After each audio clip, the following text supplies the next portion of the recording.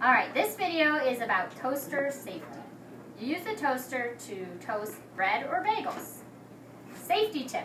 Before you use the toaster, make sure the toaster is not touching anything.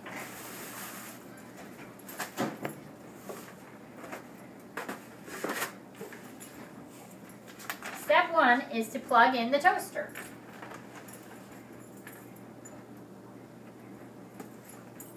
The next step is to set your toasting level. I like using level 2. Next is to put the bread into the top of the toaster.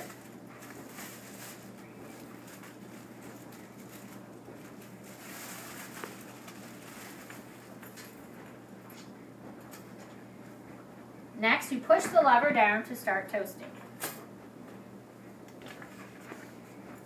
Now you wait patiently for your toast to finish.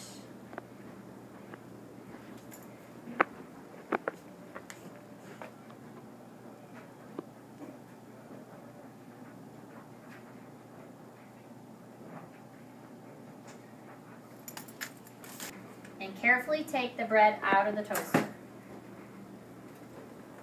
putting it on a plate. One hazard is never stick anything into the toaster to try and get the bread out.